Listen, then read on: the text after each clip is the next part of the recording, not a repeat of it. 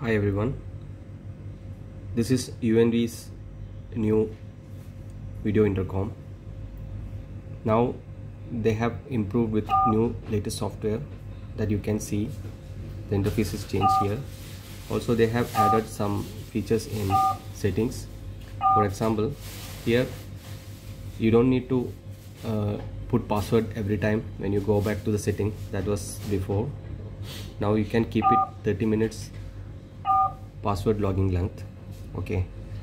This here I will demonstrate uh, how I connected two indoor unit with one outdoor unit and the when when call comes how you answer in both okay?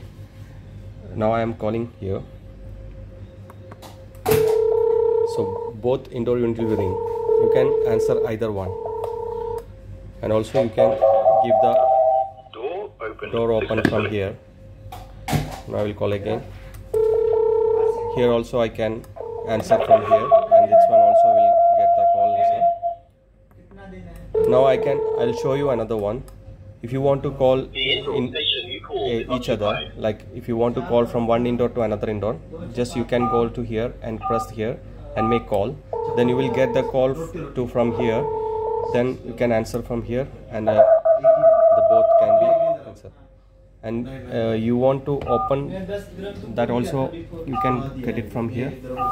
See then the uh, video will come over here. So you can automatically aut- open the gate from here. successfully.